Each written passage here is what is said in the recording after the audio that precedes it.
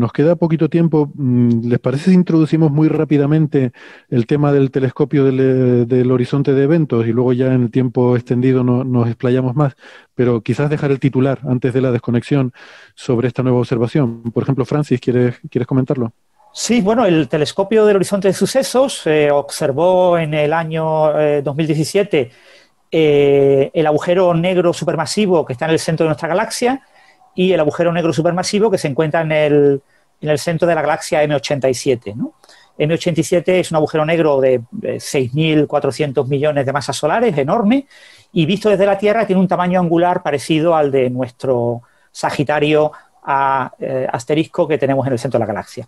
Bien, eh, se hicieron observaciones en polarización, pero se publicó en el año 2019 solamente la imagen en intensidad.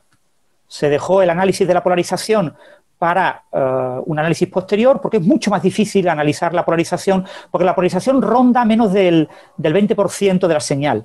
Luego es bastante más difícil de analizar. Y ahora pues se acaba de publicar. Se acaba de publicar una nueva imagen eh, hay que recordar, sobre todo, el punto clave que tienen que recordar nuestros oyentes así de manera rápida, es que la imagen que todo el mundo está vendiendo de este que estamos viendo de esta sombra del agujero negro supermasivo de M87 con unas líneas muy bonitas, muy delgaditas, muy finitas, en colores amarillos y naranjas, es completamente mentira.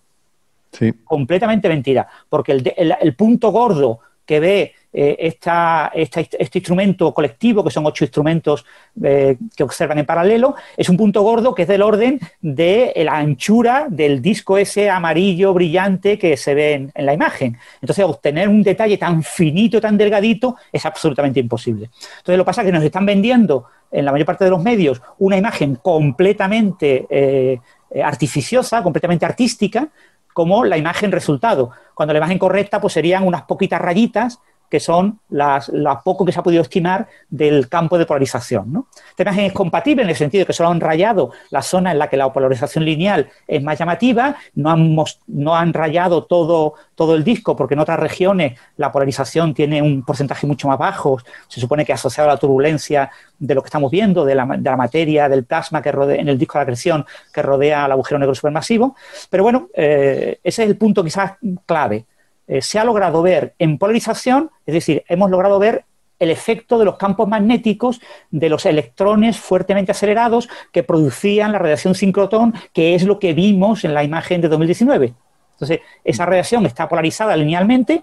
Eh, eh, no hemos observado la polarización circular, o sea, si, debe, ser muy pequeña, menor del 1%, y, la polarización que hemos observado lineal está concentrada en la zona de la mancha brillante, la zona más brillante de la mancha, ahí está concentrada esa eh, polarización lineal. En el resto hay menos polarización lineal, luego se asume que la turbulencia de ese plasma es eh, mayor en el resto de las regiones y en esa región del pico es un poco menor y por eso podemos ver eh, el campo magnético, estimar el campo magnético a partir de la polarización.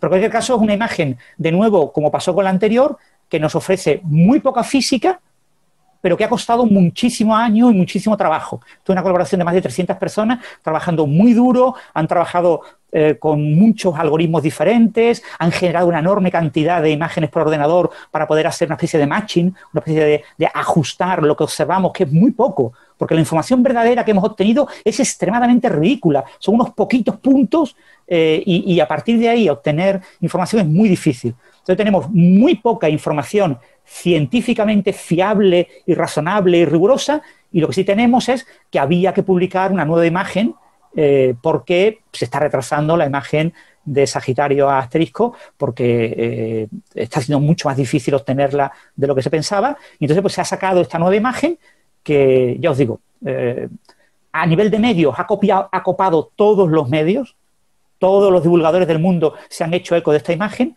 pero que a mí me sigue echando, faltando, me sigo echando en falta más ciencia, que, sea una imagen que nos dé información muy razonable. Ha permitido estimar la, eh, densidad de electrones en el plasma que puede producir esto, pero la verdad es que hay muy, muy poquita información ofrecida.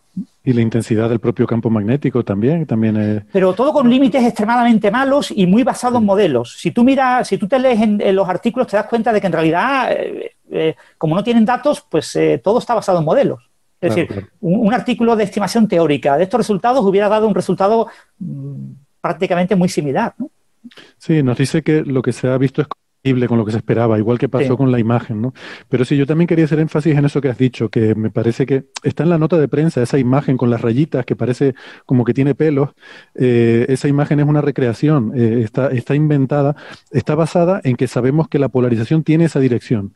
Pero recordemos, los píxeles son del tamaño como medio, el medio del grosor del donut ese, o sea, son, los píxeles son muy gordos en esa imagen. Y en cada uno de esos píxeles gordos sabemos en qué dirección va la polarización más o menos. Y en base a eso se han puesto esas rayitas para guiar el ojo e indicarte, pero esas rayitas se han hecho, mm, se han puesto a posteriori sobre la imagen para guiarnos y, e indicarnos en qué dirección va la polarización, pero no es una imagen real, no hay que pensar que eso es real ni muchísimo menos. Mm. Bueno, Ese es el pues punto clave, creo yo, más relevante de, a destacar de esta noticia, ¿no? Y ahora comentaremos más después de la pausa. Bien, pues gracias por seguirnos acompañando. Estábamos hablando de esta nueva, eh, de estos nuevos resultados del horizonte, del telescopio del horizonte de eventos, que por cierto me había olvidado agradecer a nuestro amigo Ángel López Sánchez, que fue el que nos envió la noticia cuando todavía estaba embargada eh, porque bueno, yo no lo sabía, pero a él le había llegado la información. Yo no estoy en estas listas de distribución de embargos, así que Ángel nos lo comentó y estuvo bien porque al enviarnos el artículo pues nos dio tiempo de mirarlo un poco con algo de antelación, porque si no nos hubiera pasado lo típico de que sale el miércoles y, y nosotros tenemos que grabar el jueves y no nos da mucho tiempo de verlo, ¿no? Porque yo, yo siempre digo que si sale el miércoles ya para el programa la semana que viene, porque yo no voy a estar aquí en modo emergencia leyendo artículos a última hora.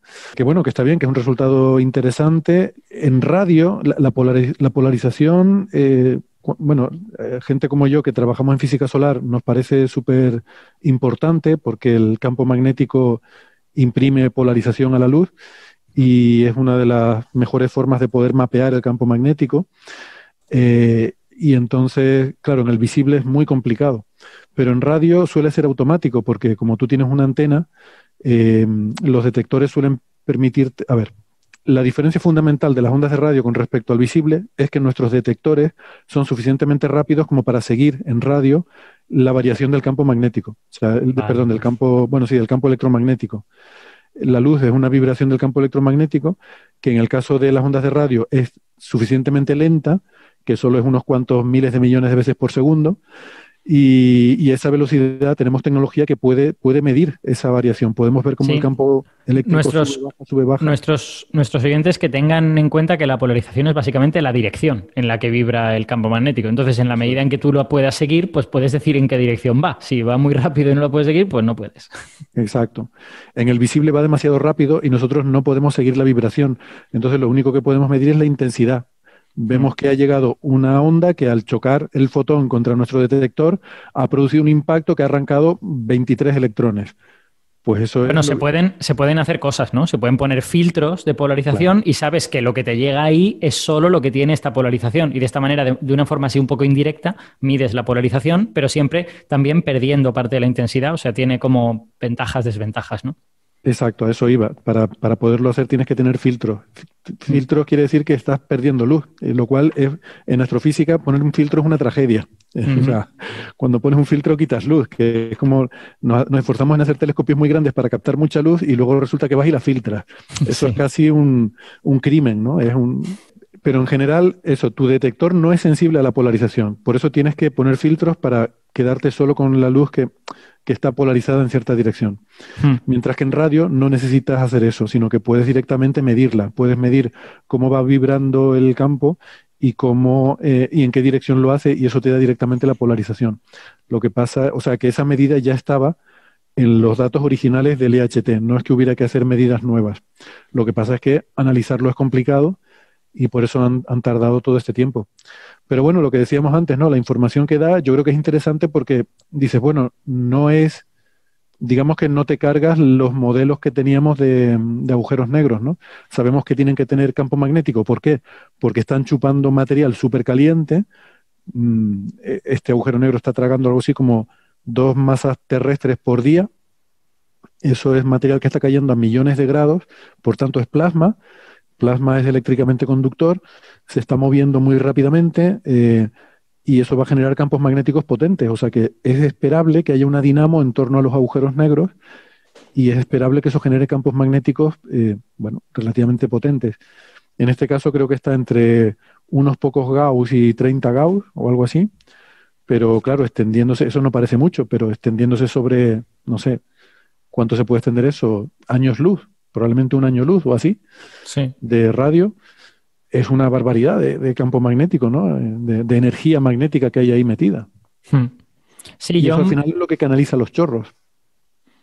Yo quería, quería comentar un poco en la línea de, de, Francis que efectivamente este resultado, o sea, quiero decir, es muy interesante porque es como bonito ver cómo se va desarrollando una técnica en vivo y en directo, ¿no?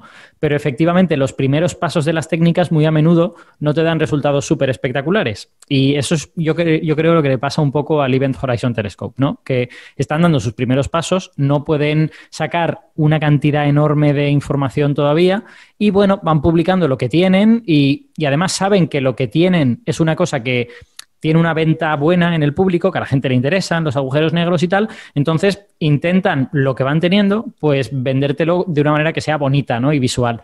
Pero yo creo que es un ejercicio interesante mirarse el paper, el artículo, que además es libre y cualquiera lo puede abrir, y si lo abres por la página 12, pues puedes ver estas imágenes bonitas que son los que todos hemos visto en los medios y encima la que yo creo que es la imagen de verdad.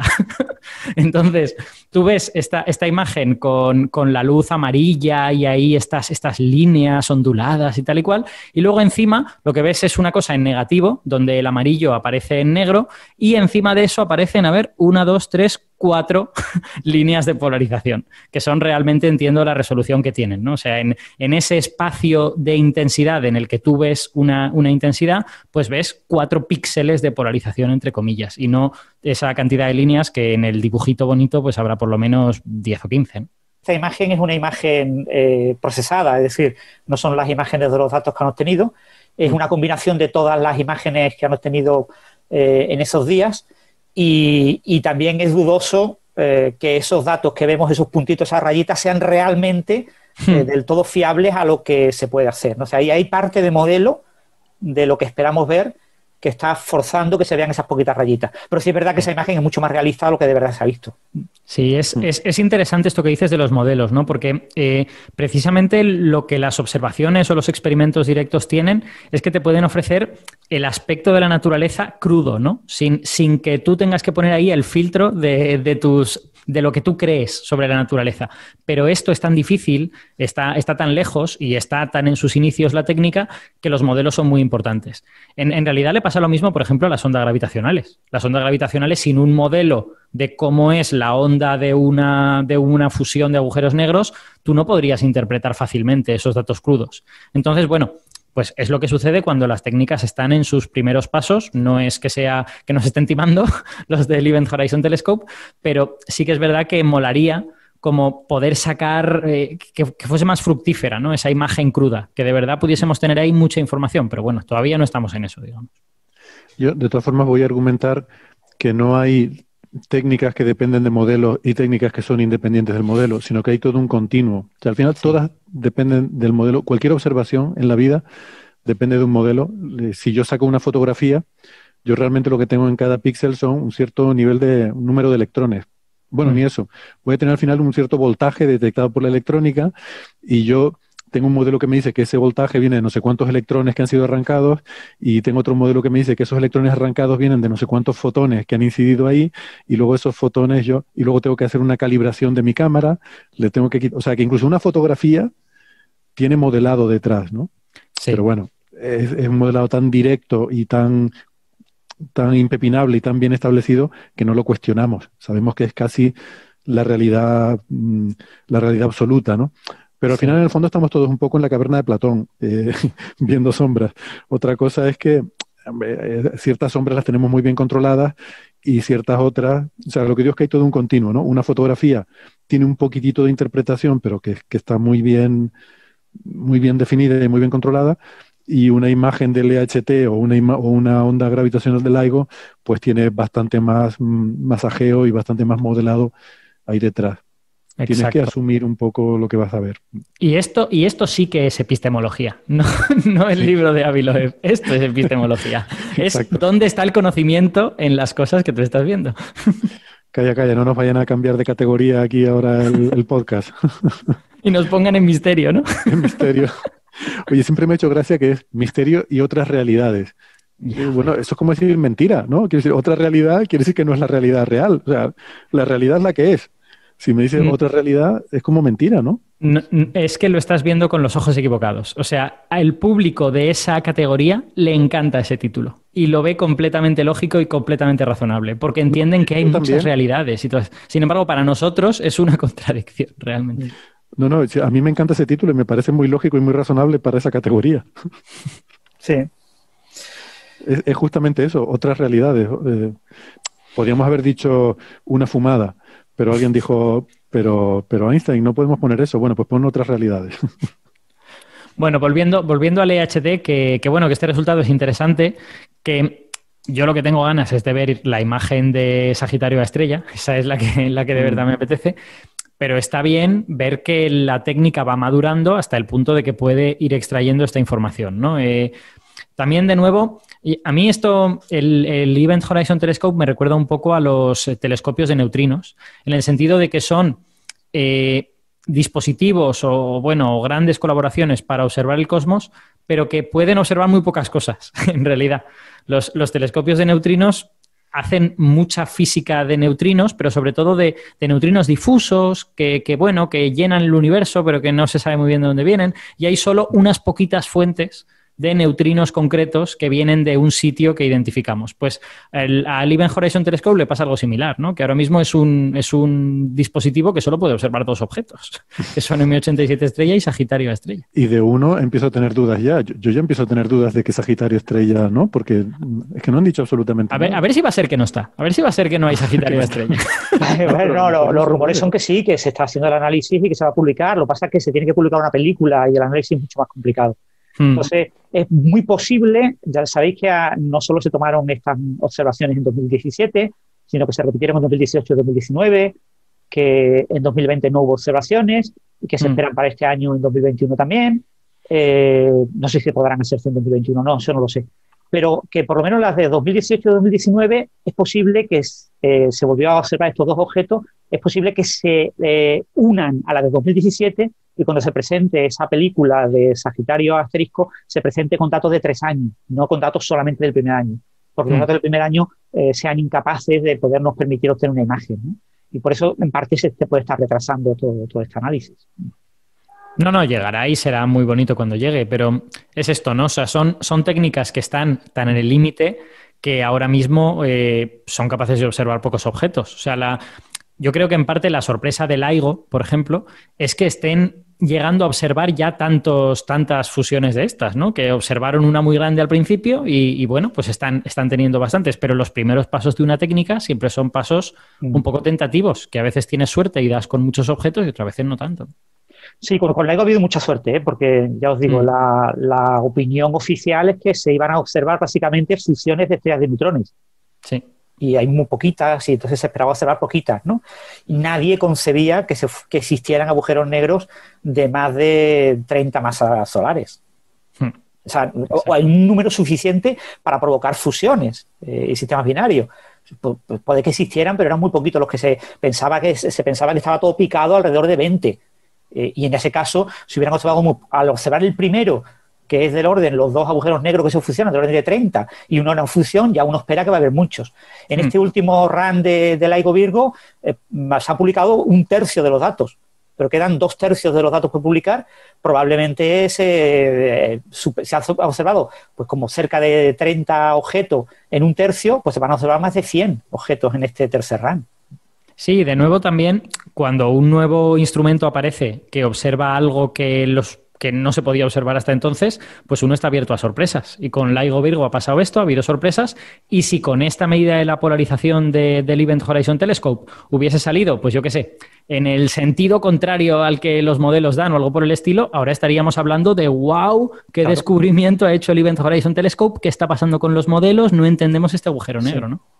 Claro, eh, a eso iba, ¿no? Que por lo menos nos, refuerza que lo que pensábamos no está desencaminado mm. o no mm. demasiado desencaminado. A ver si cuando vayan saliendo más detalles, pues a lo mejor ahí empezamos a encontrar grietas. Mencionaba Alberto eh, las posibles fuentes de los telescopios de neutrinos, y esto lo comentábamos el otro día, es que básicamente creo que se puede observar el Sol, eh, la supernova 1987, esta, ¿no? Eh, se, observó cuando se observó, ya está.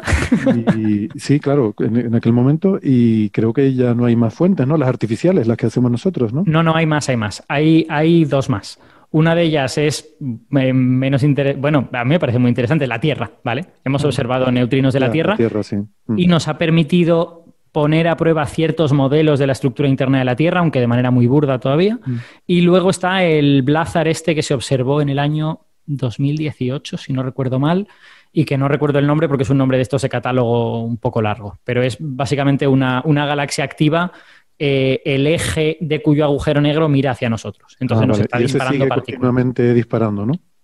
Eh, bueno, se observaron, hubo un exceso de 13 neutrinos, si no recuerdo mal, en aquel paper del año 2018, y no sé si, si, se ha publicado algún otro paper sobre ese objeto. Yo creo que no, pero, pero vamos, si a lo largo de unos años observaron 13, pues debe de querer decir que es algo aproximadamente continuo. Sí, Bruno Jiménez pone en el, chat de YouTube que es TXS 0506 eh, eh, más 056, que es ese blazar del que se han observado neutrinos. Sí. O sea, ahora mismo hay cuatro objetos de los que hemos observado neutrinos, cuatro objetos astrofísicos, digamos, que son la Tierra, el Sol, eh, la supernova y, este blazar. Del blazar solo se ha observado un neutrino, ¿eh? que no pensemos que se han observado mucho, solo uno. ¿eh? sí. Creo que TXS me suena que es de Transient eh, X-Ray Source, como fuente transitoria de rayos X. Eh, Francis, seguro, seguro que es solo uno, porque yo creo recordar que lo que había era un exceso sobre el fondo de neutrinos y que era un exceso de más de uno. Pues no lo sé, pero oficialmente, la, bueno, en su momento la noticia fue solo de uno. No sé si ha habido posteriormente alguno más, pero en principio fue solo de uno. No, igual, igual estoy yo mezclando. Eh, observado por Ice Cube. Eh, lo que no sé si otro instrumento también observó algo, ¿vale? Puede que otro instrumento. Eh, no, mi recuerdo era de Ice Cube, pero no, no, será que estoy mezclando yo cosas. Veo que estamos haciendo una transición suave hacia el siguiente tema.